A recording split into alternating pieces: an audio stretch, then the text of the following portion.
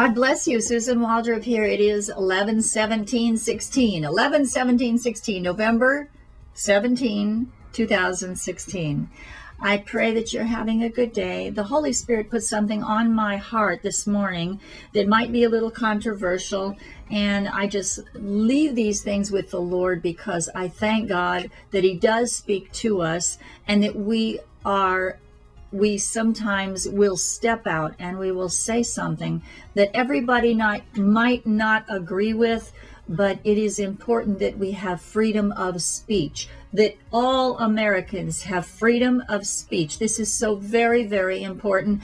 And this is what I feel has been uh, happening with a lot of Americans that we have not had the freedom of speech, especially many of the religious leaders and all nonprofits have had their mouths shut by government for several years. And praise God, President elect Donald Trump is said, has said he is going to change that. Thank you, Father God, in the name of Jesus. We lift up our oil before you.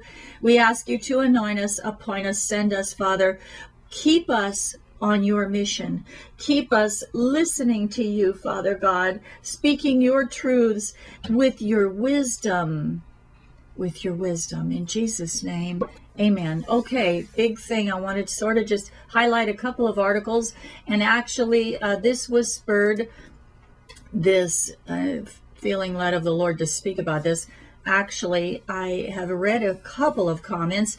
I've sort of lifted the ban, if you want to call it that, uh, where you, you know, I have to go in and approve comments because it's the ministry is becoming very busy and blessed by God. And I just don't have a lot of time to sit and all day maintain this whole thing. And I have left it really in God's hands. And I know that there's going to be some negative comments, some positive comments. That is our freedom of speech in operation. But also, if I see foul language, I will delete those comments and things that are like uh, what I would consider uh, just uh, really uh, pessimistic and negative and coming out um, in anger kind of comments where people are just you know there's there's no love there's no fruit of the spirit you can see then i don't feel that those things are healthy for all of us as people that come to this channel susan waldrop ministries on youtube and you're looking for something positive because that is what this channel is about all positiveness. It's about encouraging you to have your personal relationship with the lord above all and uh, we know that the enemy likes to come in and he'll come in through other believers because it never fails how the believers want to crucify their own kind. It, it just is amazing to me. I've worked in the secular business. I've worked in the religious business if you want to call it that. And i've seen a whole lot and i have been very grieved by what I've seen many times more in the religious field than in the secular field.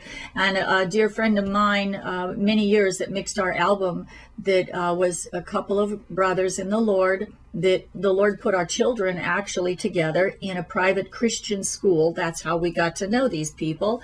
Uh, they wanted to mix our album for free because they said, You guys are really of the Lord. And they felt you know, these people, you couldn't even afford to hire them. We couldn't. And so we were very thankful and humbled by that.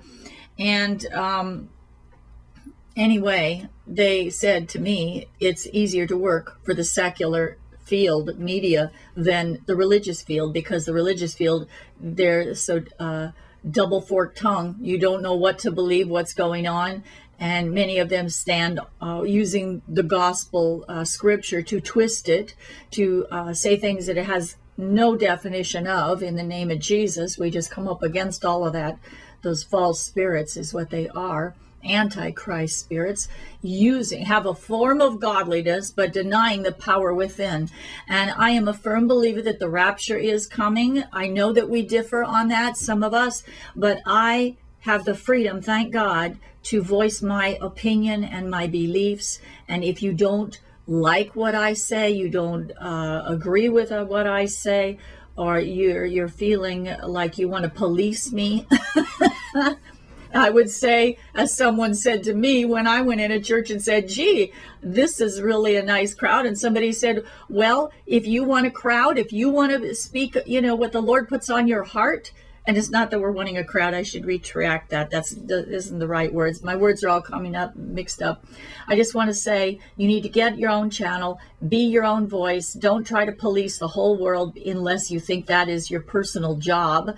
And then if you think you're a policeman, do it in love. You know, Donald Trump just fed the police in, uh, I think it was New York. I thought that was so wonderful. He fed the police and he had gourmet meals. It wasn't TV dinners, it was gourmet meals.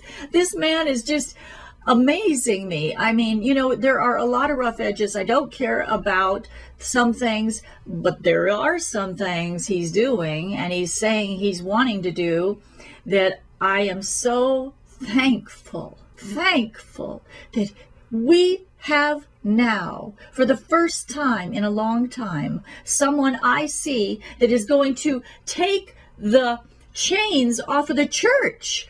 The church has been chained, their voice has been chained, and many you know, uh, whether or not we see these preachers like uh, Pastor Paul Begley, who I have a lot of respect for, he does speak out politically a lot.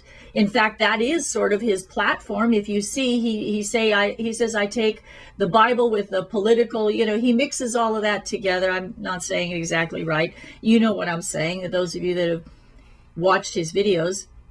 So, um, but the law has been that we were not to speak uh, about, and not just the evangelicals, the church, the clergy, but any nonprofit. But this was uh, is not so has not been allowed to say anything, you know, about the political realm for sure. But uh, so I just read a couple of notes here. Thrilling Christian conservative audience because people have asked me, Susan, why are you mixing politics with Christian, with with the Bible? You know, that stick to the Bible. Yes, the Bible is my number one book. Even Donald Trump says the Bible is his number one book. I thank God for that. Thank you, Jesus. And um, I do have a personal opinion, and I am thankful that now it seems like we will have liberty to be able to voice our opinions but I say this I would never have an opinion that would be anti Bible. And I try not to get on one tangent and stay, you know, only talking about the rapture because we want to focus on salvation. That is the number one thing. We want to enlighten ourselves with education because my people perish for the lack of knowledge. So the Bible, the Bible, the Bible is more important than anything. But we cannot shut our eyes to what's happening in the world because we don't want to have uh, enemies just come in and take us over, which is what they will do if you just close your eyes, stick your head in the ground, and say, We're only going to talk about one thing because uh, we see so much happening in the world and we need to know how to pray. That's the reason God does expose things is so that we know how to pray better for each other and for a, a, nation. And we need to stay current with what's happening. We need to always have our eyes wide open. Okay, thrilling Christian conservative audience. Trump vows to lift ban on po- pol- politicking. Excuse me, I'm, I'm not all there with that politic, pol, politicsing, politicking, appoint anti abortion judges, anti abortion judges. Basically, Donald Trump won a standing ovation from hundreds of Christian conservatives who came to New York on Tuesday with somewhat skeptical but willing attitude toward a man who has divided their group with comments on women, immigrants, and Islam. In his comments, the presumptive GOP presidential nominee said he would end the decades old ban on tax exempt groups, including churches, politicking called religious liberty the number one question and promised to appoint anti abortion Supreme Court justices. I think maybe that will be my greatest contribution to Christianity and other religions is to allow you, when you talk religious liberty to go and speak openly. And if you like somebody or want somebody to represent you, you should have the right to do it. Trump said, Thank you, Jesus. A ban was put in place then, by then U.S. Senator Lyndon Johnson on tax exempt groups making explicit political endorsements. Religious leaders in America today, Trump said, are petrified. It's so true because you can just have your license revoked. If you are licensed with the IRS, that is, if you are an actual ministry that is legally licensed as a nonprofit, and this is not just for the religious field, but this is for any any nonprofit status, any nonprofit status. So many people have chosen to just not be with the IRS. They've said, no, you're you, you if you make a donation to this group, this ministry, there is no tax refund that you're going to get. You can't claim on your IRS that you gave a donation. This ministry, Miracle Ministries, and Susan Waldrop Ministries was initiated as an association a church ministry in a home we met for a long time. And now we are we are an association. That means we are ministers. We are licensed ministers. There are several ministry ministers under Miracle Ministries that we formed many years ago. And Stephen and I, God used us to initiate it with Pastor uh, Reverend Jim Williams of uh, the Little Brown Church, who was actually a Baptist minister for many, many years. So my roots are very conservative. Conservative. And before we formed Miracle Ministries, we were licensed under the Assembly of God International Fellowship, Ted Lanes of San Diego, with our pastor, Pastor Robert Bloom of the Village Church of Newhall, California. There you have it. I am legal as the day is long, and I have been, and I have to account to a lot of people. I have to take this very seriously. And that's why I have been very, very hesitant to speak out anything because I am thankful that the Lord led us this way, but I have to also be very careful. Paul Begley has been, in my opinion, sort of on the borderline there, talking a lot about politics and, and that kind of thing. And I just pray for him. I give him kudos because he's really out there on a limb, but he's doing what God told him to do. So even when you're doing something that the government says isn't really legal to do, if you're walking in God's favor, God will make a way where there seems no way and you will walk in favor. So basically, when Trump says he wants to expand religious freedom, he uh, this well, this one article is a little whacked out that I'm looking at now. It says uh, the audience. Uh, I'm going to go to another article here because some of the things in this one article I don't I don't agree with. Trump is surrounding himself with evangelical pastors. The Republican appointed an executive advisory board that's a who's who of conservative Christian leaders. now, this right here tells me that he is for, Trump is for religious leaders speaking their political opinions to him. Now, this is, of course, in a uh, meetings that he's going to be having with them. Thank God there are two women on the list. Yes, he is taking advice from two women. Uh, the one is, uh, let me see, the one lady is the girl that has a minister that has a, a has a, a suite in the Trump Towers, and uh, she has blonde hair. You know who I'm talking about. I can't, forgive me, God, I can't think right now. Paula White. The other one is uh, a lady that uh, Bachmann. So she is another one. But I just want to say, I think this is wonderful. I think it's a breakthrough, but I think it's it's for an appointed time. James Dobson, is on it. You know, all of these people. So you can see Trump is lifting up the gospel. Thank you, Jesus. And he's also taking the chains, just like yesterday I talked about how God is taking the chains off of us and they're going to be falling off all of these chains and he is going to open the prison doors. The church has been in prison I say for a long time, it is important that we do what God tells us to do. Because in doing that, you're going to fulfill His perfect will for your life.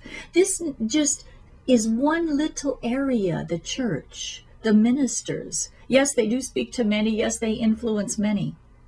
But can you imagine if all of these ministers never said anything about their opinion? They just stuck to the Bible and they let people, well, yeah, if everybody on the planet prayed to God and had a relationship with God, there would not be any problems, I could imagine. But everybody isn't that way. We can pray as a body that people come to Christ. That is the very first thing that they need to just come to Christ, get baptized in the Holy Spirit, and then God will lead them individually, hopefully, to some mentor that they will be able to sit under and, excuse me, learn from them. So a lot of things is changing, and I have been very hesitant to speak out. Speak out but times are changing. I saw 2017 is going to be a wonderful year. I'm going to stay positive with it. I did see that there is going to be a right turn also for many people. Things that you've been sort of like planning on, all of a sudden, some uh, little um, thing is going to happen and it's going to get shifted left shifted right. And it's going to be like I was praying with the brother the other night, and he's on a major, major global production. And I was praying with him. And this is a very uh, secular thing, but it's a very influential, important thing that is being put together. And I saw a I saw a, a right angle because it looked like it was going to look like one picture, and then all of a sudden, in my spirit, during the day, I was getting, you know what? I think something's going to happen there, but I didn't say anything because I didn't want to be negative because we want to stay positive. But he called me that night that the Lord was showing me that. And he said, You know what? this and that and that's happening. And right away in my spirit, I said, Uh huh, uh huh. That's what that was. That was the Lord showing me during the daytime there's going to be a right angle. And he says, Susan, everything you said in the broadcast the other day lined up, set it up for what I'm receiving now that is actually happening that he wasn't even planning on but God is doing right angles. But I said, you know, God is uh, specifically using this person actually to bring salvation into mainline, main line, if that's the right word, people in the world. A-list people. And when I say A-list people, some people don't understand what that means. If you work professionally in the entertainment industry, just using that as an example, there's A list, B list, and C list, sort of like you look at movies, okay? When I was with uh, an international organization and I was honored to judge, I learned from Jimmy Baker, who was on the executive board of ABC National Television for over 50 years. So I learned what real production value which a lot of people have no clue what even production value means. Production value means that you look at you look at a piece, whether it's a published written piece like a newspaper article or a book, published works on paper, or if it's a, a, video, an independent production, which a lot of times we'll see these short films, you know, those kind of things, or it's independently distributed. Then you see the next level, you know, and it goes on to movies, you know, television shows, these kind of things. Then you see international productions on an international level. So these are all different things that are on different levels that are produced. So when I say A list, I'm saying the most influential classification of a production. And so, um, anyway, all of that, I just want to tell you guys that this is what I'm seeing in 2017, that we're going to see a lot of things open up for us as believers. This is encouraging. We need to stay encouraged, stay positive, no matter what we see. Because sometimes, even when a thing looks a little bit negative, like, oh, I don't know why that happened, we're going to see it positively that God knows the full picture of why that thing happened in your life. And I want to say, I really did see in next year, in 2017, we're going to see surprises big surprises. This thing with Trump is a big surprise to me. It was like, wow, this has been in place since the 60s that Lyndon Johnson put this, he put the lock on the mouth of the church since the 60s. Can you imagine? Can you imagine the freedom we're going to be able to speak? And so I want to say to the church to try to find your peace with God and do what God has called you to do. That is number one. If you feel like you are called to be a, a, a, a policing kind of position where you're, you know, judging this and judging that and t- telling people what to do, I want to say do it in love. We need to be able to work together. We need to always walk in love, but we need to always be like a willow tree. We need to yield with each other and say and say to ourselves, you know what, I don't understand all of that, but I know the call of God on that person, and I know that they're in God's will. Even though I don't understand this, I don't understand that totally, yet God gives me peace. See, it's the it's the peace inside of yourself. God will, out of the mouths of two or more, my word shall be established. Confirmation. My agenda is to get people saved. That's that's the only reason I am here is to bring people to the Lord.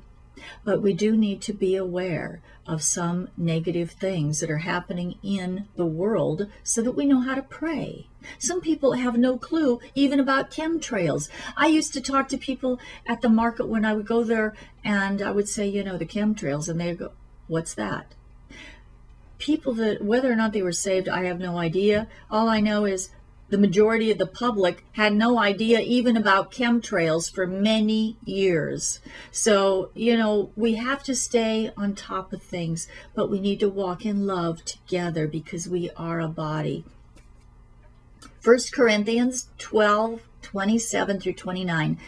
Now ye are the body of Christ and members in particular, members can't talk, in particular, particular now, this is King James Version. And God hath set some in the church, first apostles, secondary prophets, thirdly teachers, after that miracles, then gifts of healings, helps, governments, diversities of tongues. That's a huge spectrum of people. A lot of people are in that category because you see, we are a body. We need to work together. We need to bless each other. We need to not be so judgmental and jump on each other. Sometimes something is something we don't understand totally. We just need to love each other and let it go. Even if you're offended, like like this brother I spoke with the other night, he says, "Wow, they just lashed out on me on the phone. This phone call that he got." He says, "I don't understand. I, you know, it, it hurt his feelings." And I said, I understand that. But I said, don't take it personally because it is a spiritual thing that is bigger than you. And you got to know that the devil does not want God's will for your life to happen. I want to let that apply to whosoever hears that right now. Don't be offended. Don't take it personal because just let it go off your shoulders because it's a spiritual thing anyway. It's a spiritual demon trying to stop God's will for your life in whatsoever way. Okay, let's read down now a couple things I wanted to share. Uh, dear sister, I believe it is from India. Forgive me with these names. I'm terrible. I feel awful. I can't pronounce all these names.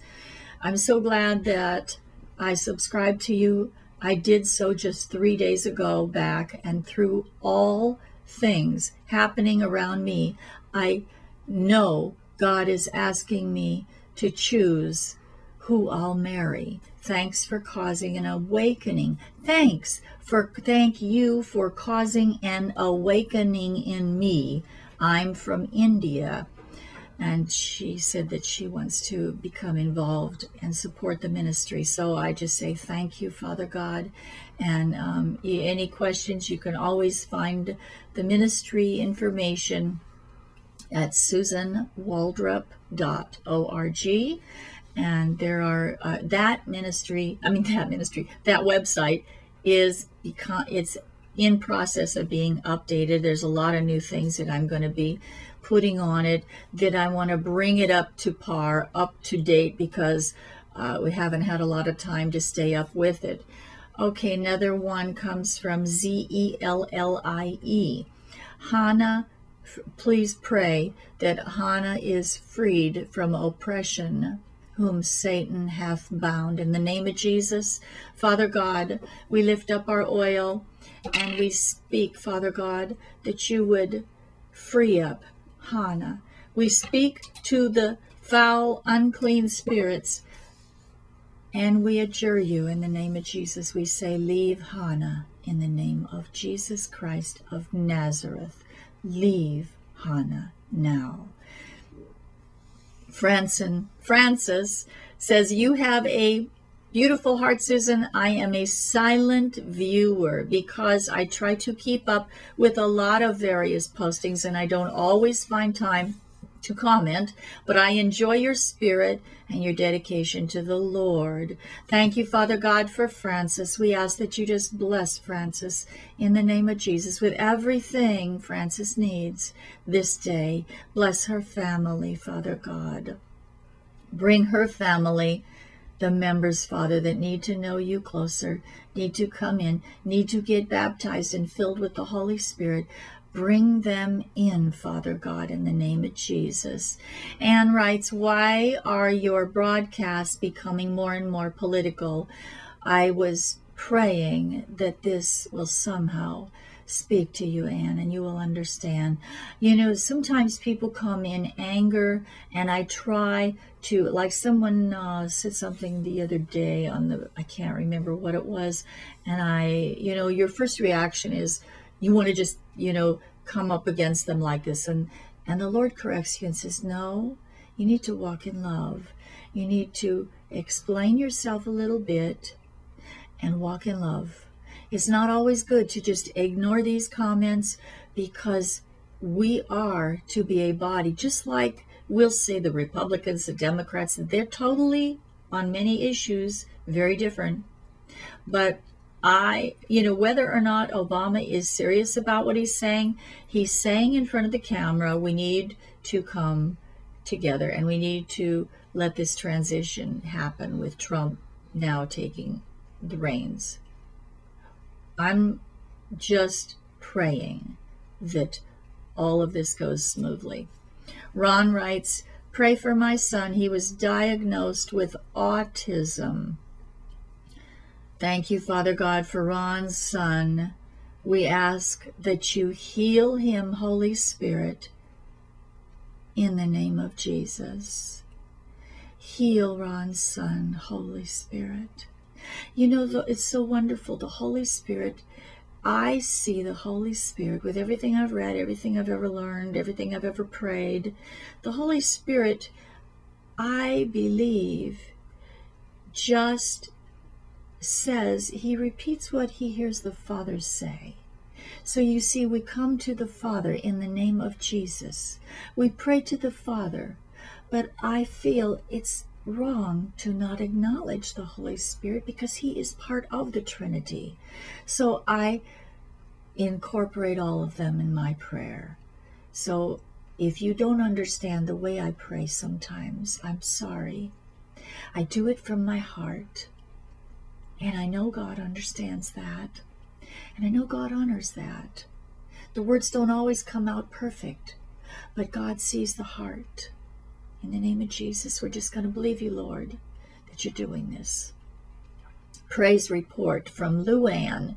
Thank you for praying. My son is home. Charges were dropped. He is back on track. Thank you, Jesus. I'm getting revelation into more ways God can change people that I didn't see hope for before. need more revelation. Father, we pray that you give Luann more revelation, Lord. You're so wonderful, Father. We stand with Luann. We ask that you open up the windows of heaven, pour out your wisdom, your knowledge, your understanding, Father, into her heart, her mind, so that she knows how to pray. We know how to pray better for this precious family. In the name of Jesus. Hi, Susan. I was wondering if you could continue praying for the strike to end at the university I attend. This is Amanda. She's a young girl that's a college student. And so she's had a lot of, there's been a lot of, you know, awful things happening. She said, I, the union leaders are very stubborn. They are not willing to take any offer that the university offers them. They say that they care about students, but they don't. So many students are getting frustrated with this strike and wish that it would end. Thank you, Father God. She says, I was hoping to graduate in February, but now I don't know if that is going, is even going to happen. Please keep praying that all enemy strongholds will be broken off that university. In the name of Jesus, we agree with Amanda, Father God, and that God will soften the hearts of the union leaders. We pray, Father God, with Amanda's own words, that so be it, and their members also, Father God. In the name of Jesus, we agree. Also pray that my emotional and physical health will improve. We agree with Amanda for that one, Father God. The stress has been causing my uh, eczema, eczema to flare up. We pray for Amanda, Father God, total health, and for this situation in the university to stop. All evil intentions stop. Stop in the name of Jesus. Thank you, Susan. Uh, K.A. writes, Thank you, Susan, for all you do and share. I'm really discouraged about 2017. A lot of people are extremely depressed. You know, it's like we're all running this way, a lot of people. So I pray that these videos are uplifting to you, that they encourage you back, that God has never left you. He will certainly bring his perfect plan for your life to come to pass in the name of Jesus. She says, Today is the day my daddy died. Maybe that's part of my sadness. Father, we pray for this precious one in the name of Jesus that you would give her, I, uh, assuming her, sweet sleep in the name of Jesus. Peace, Father God, over the father that, her father that has gone on. We pray to be with you, Lord God. Bless this one now, we pray your precious blood over her life. And Father, for everyone else that needs a healing right now, in the name of Jesus, we agree as a body, you are healing them now in the name of Jesus. We thank you, Father God, and consider it done. Thank you, Father, for all the donations that have come to this ministry, Lord. In the name of Jesus, we ask that you bless them back 1,000 fold. Thank you for all the prayer warriors.